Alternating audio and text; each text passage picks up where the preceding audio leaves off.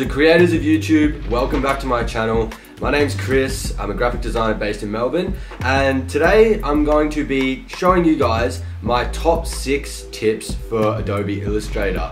Now, I'm gonna go just a little bit in depth because I don't wanna rush it. I do genuinely wanna teach you guys how I use these functions uh, and how you can master them uh, most effectively to ultimately increase your workflow when creating designs. So without further ado, let's jump into the computer and get started. Okay, so tip number one. This is rounding corners. How to basically make a corner turn uh, to a round beveled edge. So very simple stuff. What you're gonna do is uh, create your square here, just for example. Then you get your direct selection tool, which is your white arrow in the top corner. Highlight that, uh, click on your object and you will see uh, these blue and white dots that appear in the corners. If you actually grab these, if the whole object is selected and you grab just one, then it will grab all of them. You pull them in, release your click and you'll find that you will be dragging your corners in. If I just want to select a singular point, then I can just click on the anchor point itself. And I can click on this one down here by holding shift together. And then I can drag these two at the same time creating a completely different shape altogether. Now keep in mind that your points do stop at the anchor points in which the uh, beveled corner actually interacts with first. So as you can see here, I've created a shape. I've just placed a anchor point there. And so when I go to click on this anchor point and curve it, it's actually not letting me uh, go any further than this anchor point here. So uh, just keep in mind if you're trying to make things a bit round by using this tactic, you want to be uh, subtracting all the anchor points in which are going to get in the way. As you can see here, I can pull it all the way now until it reaches this anchor point down the bottom. The last and final thing with this point is the fact that you can only select 80 points at the same time. So if I just go create 5, 10, 20, so we've got 80 points here. I can select all of them, click, click my direct selection tool, which is A on uh, as the shortcut on the keyboard, and as you can see, it's prompting me to use all of them. But if I click, if I just drag and select one more, then as you can see here, it's not prompting the uh, blue and white circles anymore, uh, which is very frustrating at times, but there is a way around it. You can just do them in sections. One section, two section. Fantastic. Alrighty, so tip number two, I use this all the time, constantly, every single day when it comes to uh, my Illustrator um, adventures, I guess. It's the Pathfinder tool. So I always have it just positioned up here at times, or maybe even in the middle if I'm referring to it a lot. Um, but I'll show you how you can go find it. So you come over here, go Windows, uh, come all the way down to the bottom and go to your Pathfinder tool. Then it'll appear as a little uh, dialog box uh, which you can then interact with. So how does it work? Well, I only use two main functions. Uh, I use this one, which is called divide, and this one, which is called unite. And they basically act as a cookie cutter. Well, divide acts as a cookie cutter, and unite basically merges objects together. So if I just change this color, I'll change this one as well. I'm to just bring this in the middle here. If I click uh, divide, then as you can see, I've now got three different shapes based on the lines that are going over each other. Very, very handy. If I wanted to combine them again, I'll put them back in their original places.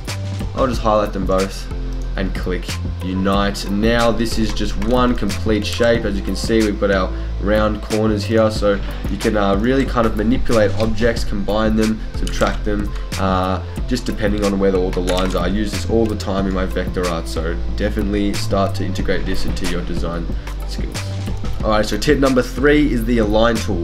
This tool allows you to distribute and line up shapes equally and uh, distribute them with the same amount of gaps across all of all the shapes that you're working with. So again, I'm just going to do some uh, random squares. This time, I'll just put them all over the joint. Let's just see what happens. Alrighty, so I'm going to highlight all of them. Now this up here is your align selection. You can also access it through the Windows tab. You're going to come down to align and you've got something very similar uh, to your Pathfinder. So what uh, how do you use it? Highlight all of your objects. Make sure that they are ungrouped. If they are grouped, then they will disappear. See you later, it's gone. So you need to make sure everything's ungrouped uh, just to achieve maximum efficiency. Um, fantastic. Now I'm going to click this one here, which is the horizontal align center. Lines up everything in the middle.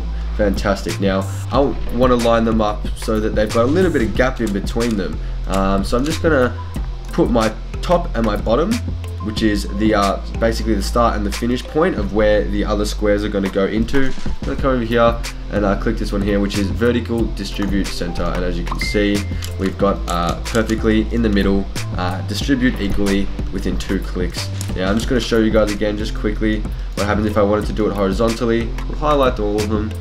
Uh, we'll go over here vertical align center and then we'll go again this one over here horizontal distribute center and there you go Alright, so tip number four is the magic wand tool. This tool basically lets you distribute and equally space out shapes uh, really easily.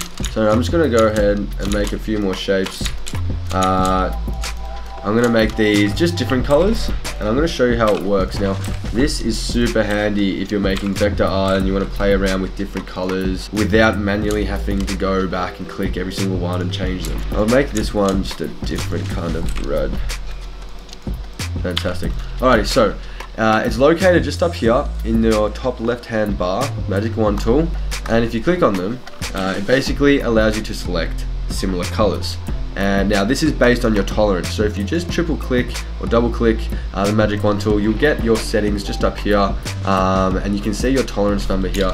If I go to zero, it means that the, the only uh, colors in which will be highlighted are the ones that are exactly the same in regards to their hex number. So if I come over here, uh, make the same shape with the same color, click that, it's going to highlight both of them. Um, whereas if I increase my tolerance just a little bit, we'll go to uh, we'll go to 60, kind of similar to where we were before. Um, I'll click on this orange. As you can see, it's uh, resonated the fact that the burnt orange is quite similar in tolerance level and as, as a result it's going to highlight the two. If I increase it a little bit more, say 200, uh, then we're going to get a very wide variety. There you go, it highlights all of them. So um, play around with that a little bit. It'll definitely help you pick similar colors and change them to something else. Alrighty, so tip number five, this one's pretty straightforward and very easy. I use it every single time I jump on Illustrator, and I think you've already probably noticed me using it uh, within this tutorial. Uh, it's called the duplicate tool. So I just did it then.